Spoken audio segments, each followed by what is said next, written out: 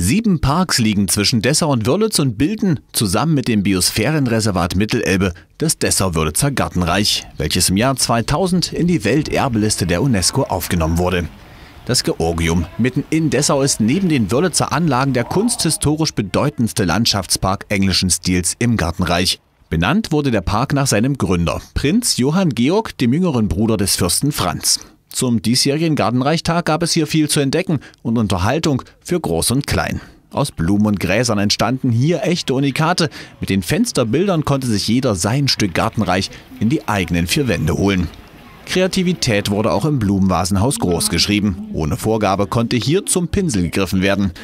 Mit Bleistift und Papier entstehen die Werke von Pia Linz, die unter dem Titel Park und Blickfeld seit Samstag im Fremdenhaus ausgestellt werden. Linz hat eine eigene Bildkonzeption entwickelt, um Orte in ihrer Ganzheit zu erfassen. Da, da ist mir natürlich ein großes Problem die zweidimensionale Bildfläche, die ja, ähm, für die ich praktisch wie so eine eigene äh, formale Lösung finden muss. Also wie bringe ich jetzt diesen drei- oder vierdimensionalen Erlebnisraum, wie bringe ich den in die zweidimensionale Bildfläche? Genau, und so kam ich auf die Idee, eben so eine Art Karte zu entwickeln. Und diese Karte entwickle ich meistens anhand meiner Fußschrittvermessungen. Auf den ersten Blick wirken ihre Arbeiten wie Ansichten aus der Vogelperspektive. Erst bei näherer Betrachtung erscheinen Gebäude und Pflanzen in unendlich vielen Fußgängerperspektiven. Dabei verarbeitet die Künstlerin aber auch Eindrücke aus ihrer Umgebung und hält diese ebenfalls auf ihren Bildern fest. Also manchmal sind die Beschreibungen ganz nüchtern, manchmal handelt es sich um äh, praktisch um Nachahmung von Geräuschen, die ich versuche praktisch mit Schrift nachzuahmen.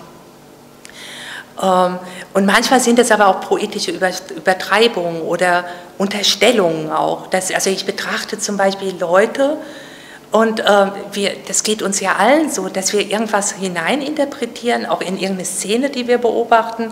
Und dann löst sich durch irgendwas wieder die Szene auf und es wird klar, dass ich ja was völlig anderes oder völlig Falsches in diese Menschen hineininterpretiert habe. Und das kann man eigentlich alles in meinen Zeichnungen auch entdecken. Noch bis zum 15.11. können die Bilder von Pia Linz, die unter anderem im Georgium entstanden sind, immer sonntags in Augenschein genommen werden. Ein Besuch im Georgium lohnt sich aber jederzeit, gibt es hier doch täglich so viel zu entdecken.